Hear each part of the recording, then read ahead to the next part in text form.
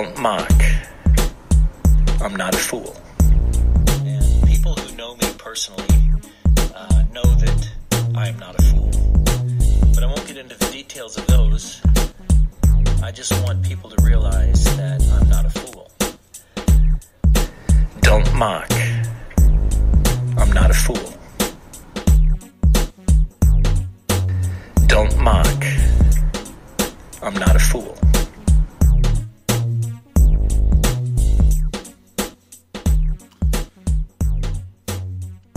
And welcome. It's Tony here from the Dumb Leaders podcast. Welcome to episode 66. And so much has changed since our very last podcast.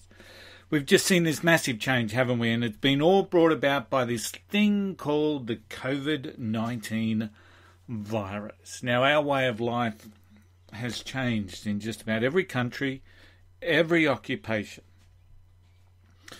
We have countries in varying stages or degrees of lockdown or social isolation or, or home confinement, as some people are calling it. And everyone seems really committed and focused on stopping the spread of the virus, flattening the curve.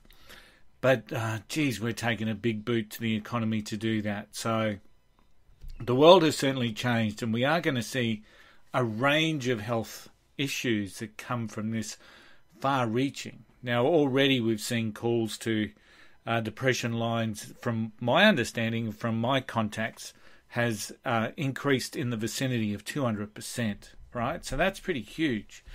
Um, now, obviously, we don't have stats for things like suicides and whatnot, but I would imagine that we are going to face a, a lot of depressed people coming through and getting out of this COVID 19. And just within the um, the communities, we, we're seeing blame, we're seeing hysteria, we see fear, and it's all taking hold in each of our communities. And you would see that once again on your social media feeds. We've got judgment that, that's being passed on people. You know, we've got experts that are coming out, so called experts, coming out of the woodwork. We see so much false stuff being shared as real. It's just incredibly frightening to believe how fear can take hold and and just change what usually could be a, a, rational mindset of a person into something that is far from rational. So one of the things I really do hope that we lose is this judgment, this judgment of people that's taking place. Um, we see fake prophets, we're seeing memes, we're seeing the media focus on all the negative aspects. We, we're having it called the deadly virus. And yes, it's killing people, but so do so many other things in our world as we know it. And once again, I'm not downplaying this thing. But the type of language that we use, you know, and and some of the media hysteria has just created a desire for, that there's a group, there's there's a segment of the um, the population calling for lockdowns, calling for army control. Now, once countries do that, it's very hard to come back from that, you know. So we really need to be mindful in so many ways um, of what we're wishing for. So a total lockdown, stuck at home, my God, that's going to create enough problems as it is. Alcoholism, domestic violence, you name it. So, so we really need to be cautious about what it is that we wish for. We've seen evidence of what happens with people when they get stressed or anxious, and we've seen the panic buying happening in supermarkets. So there's so much that we need to take away and and learn from during this virus, but also as we come out of this virus. And this is why I wanted to share on the Dumb Leaders podcast some of the ways that even a dumb leader should be thinking about to get out of this virus. Now, I'm not passing judgment today on any uh, government or any leader within polit- uh, politics for navigating their way through the current crisis. They, I bet when they took office, they never ever thought they'd be doing this. So I'm not going to at all pass judgment on some of the things that I've seen. But what we do see is that spreading fear and panic has now become the norm. But we've also seen some of that brighter side of engagement. We've seen parties by video. We've seen Italian people being serenaded from uh, from their balconies. We've seen people doing innovative things to continue to deliver services to clients. Now, all of these initiatives we simply cannot lose, right? When we come out of this. And what I want you to think about is what are some of those things now that maybe you can start thinking about from a business perspective? You know, we've seen concerts from the couch, right? So, as a musician, uh, uh, sorry, as a musician, is this uh, something that you could foreseeably do in the future? These are things that we need to be thinking about.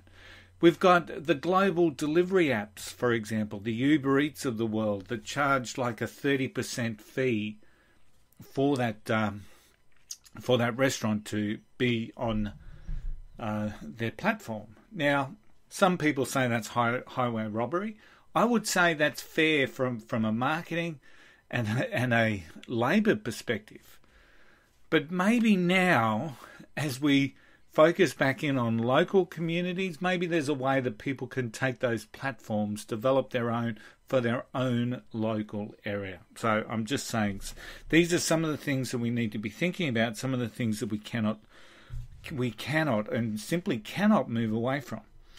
We've come up with new ways of doing business and all of importantly all of these things that have potentially stopped people from looking for those new ways have evaporated.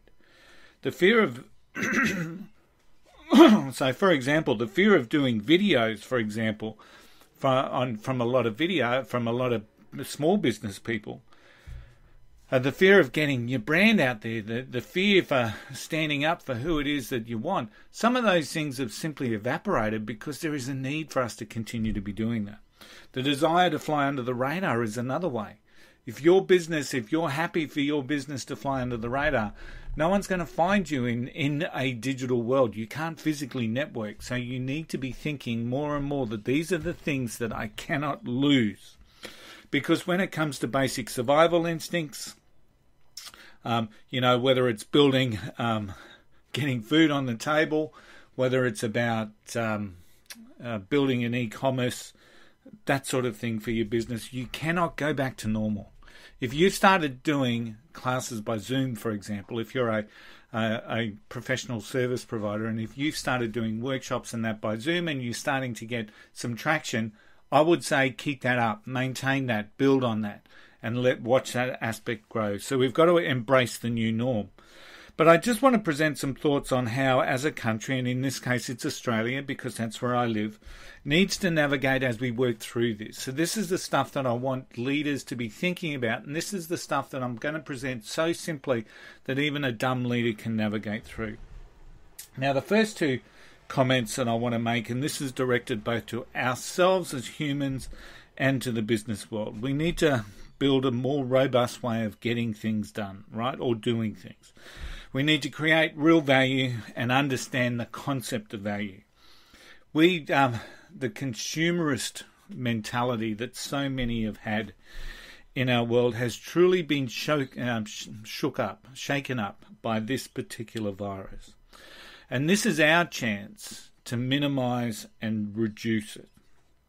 So our consumerism ways must change or should change.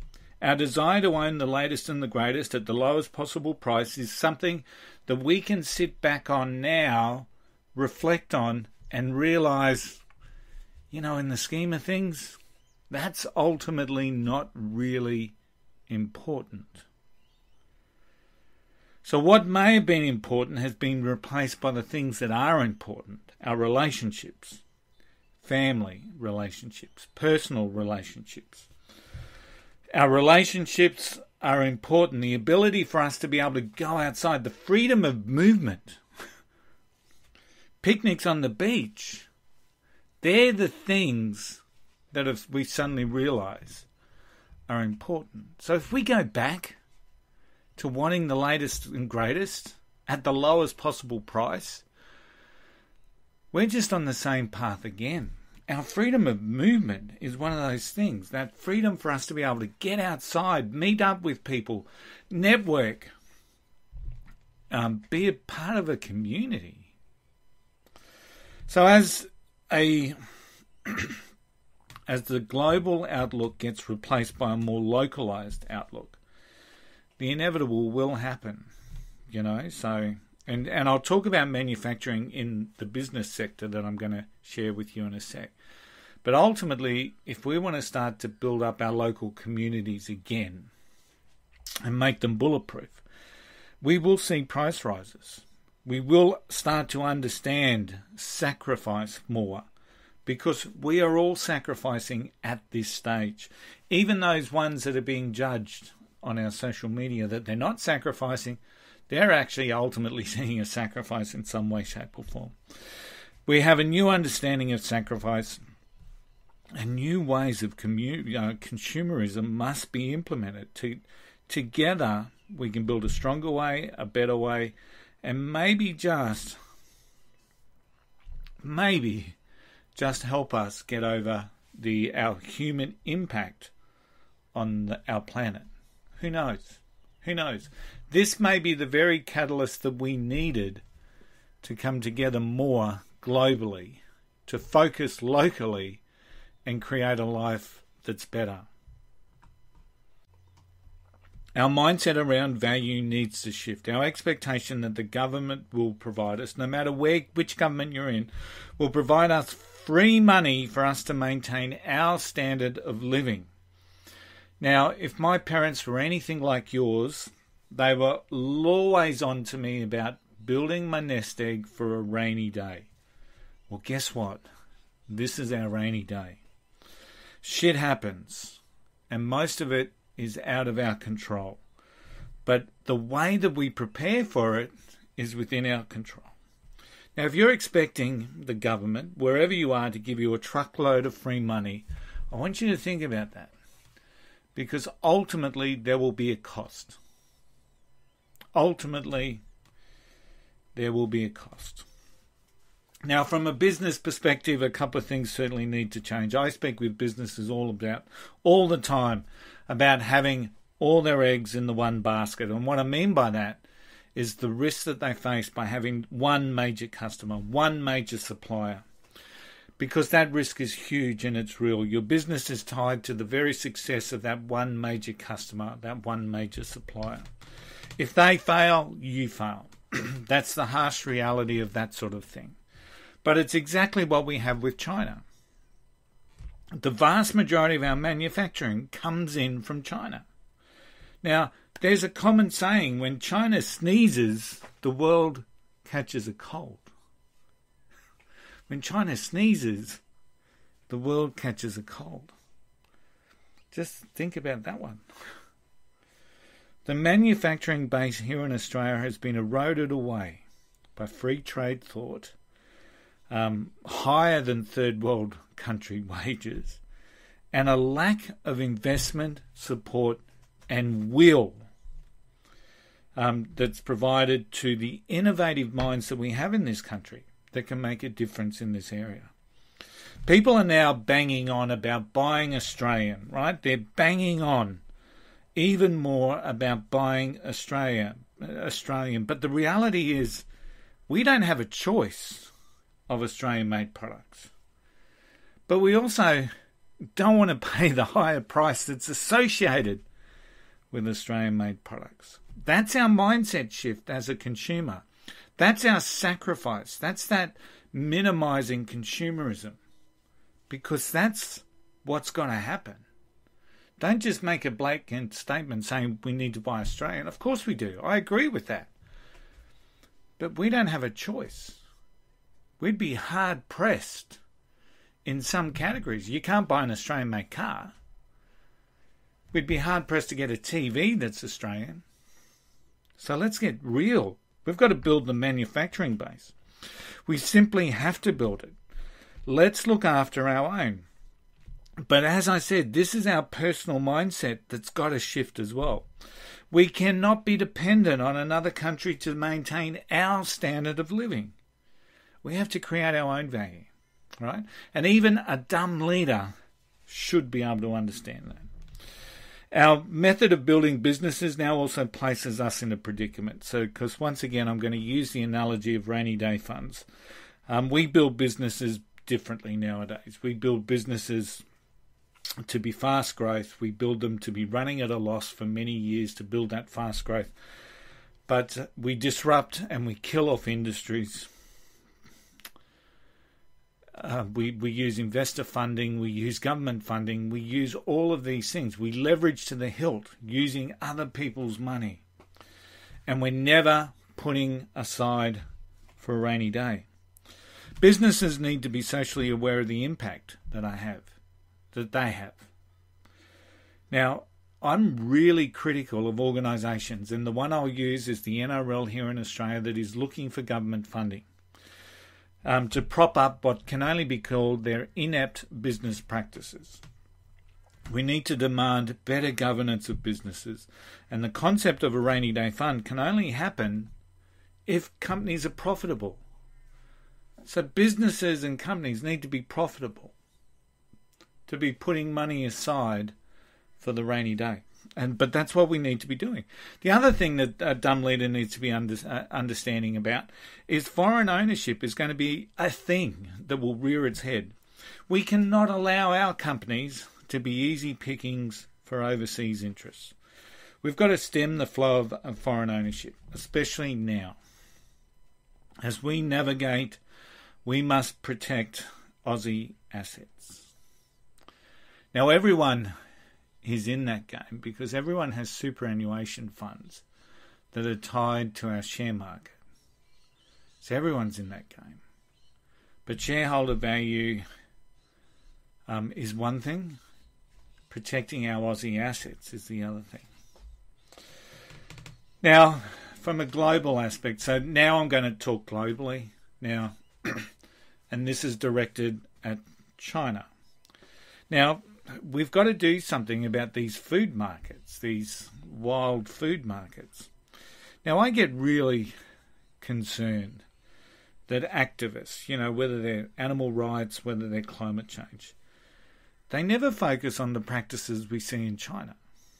We see people locking themselves to the gates of a local grazier here in central Queensland, but we never hear about them standing up for the barbaric nature of what these live wild markets, food markets are. They're barbaric. To have a live animal slaughtered in front of you, barbaric. We've got to do better than that world. The world has to do better than that. Will we have the fortitude and the will to stop that practice? Personally, I think it's a must. So there you have it. Even a dumb leader can take that advice and do something with it. We've got to come out of this more agile, leaner, and stronger than what we were before. Now, the question I ask is are we willing enough to do that? Now, while this advice relates directly to what I'm seeing here in Australia, it's relevant no matter where you are. Please share. Let's get through this, let's get those messages out there.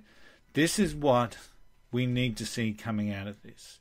We need to see more focus on bulletproofing our country. That, that's what this is all about bulletproofing our country.